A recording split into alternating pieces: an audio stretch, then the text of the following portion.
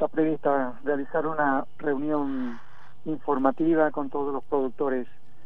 precisamente para no solamente informar, sino escucharlos y, evidentemente tomar las inquietudes y, los puntos de vista que entiendan para que la Cámara lleve adelante después en la realización de, la, de todos los temas. Tenemos situaciones que por ahí este, no son muy felices y queremos eh, ver que, que las vamos resolviendo y la única forma es escucharlo a los productores, informarlos de los estados y a la misma vez tener una actuación conjunta, en unidad, con fuerza, siempre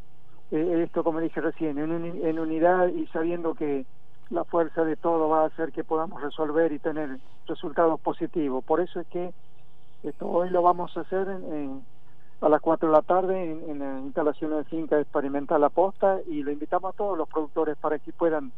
eh, y traten de concurrir, de ir y, y, estar ahí. Hemos tenido un par de, de transferencias lo que hace la semana y, y, también informaremos los pormenores de a qué concepto corresponden estos recursos, qué es lo que hay para adelante,